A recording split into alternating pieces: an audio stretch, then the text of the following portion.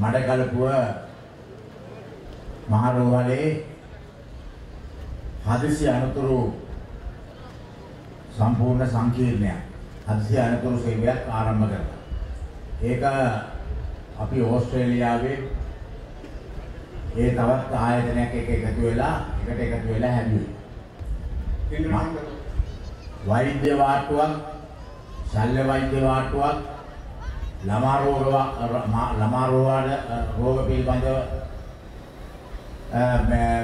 විශේෂඥ සේවයක්. ඒ වගේම විකිරණ ශිල්පී රේඩියෝලොජි සෙක්ෂන් එකක් හෘද රෝග විශේෂඥ සේවයක්. ඒ වගේම මේ කාන්තා රෝග පිළිබඳ විශේෂඥ සේවය ඇතුළු විශේෂඥ සේවා ගණනාවක් කින් කොටසක් විවෘත කරලා තවත් කොටසක් වලට මුදල් වෙන් කරලා ආවේ අද මඩකලපුව රෝහල හදන්න.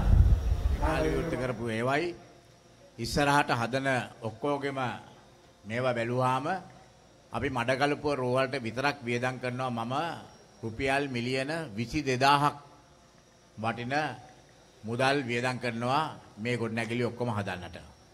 මේවා දියුණු කරලා හදනකොට මේකේ විශාල රැකියා ගණනාවක් මඩකලපුව රෝහලේ එනවා. ඒ රැකියා මම බලාපොරොත්තු වෙන්නේ මේ ප්‍රදේශයෙන්ම ලබලා දෙන්න. මෑගෙන් රවුමහන් මහත්මයාගේ ජයචන්ද්‍රන් මහත්මයාලා අරහා ඒ රැකියා අපිට මේ ප්‍රදේශවල රස්සාව නැති තරුණ තරුණයන්ට ලබා දෙත හැකියි.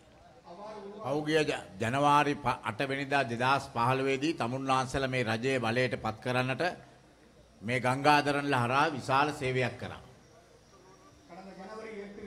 கடந்த ஜனவரி எட்டு ரெண்டாயிரத்தி பதினஞ்சு ஜனவரி எட்டு ஜனாதிபதி தேர்தலின் போது ஒரு ஆட்சி மாற்றத்தை உண்டாக்குவதற்காக இந்த பிரதேச மக்கள் கங்காதரன் அவர்களுடன் இணைந்து பாரிய சேவை செய்வதை நாங்கள் ஞாபகம் வைத்திருக்கின்றோம் ඒ සේවයට අපි අපි හැමදාම ඒ සේවය අමතක කරන්නේ නැහැ කවදාකවත්.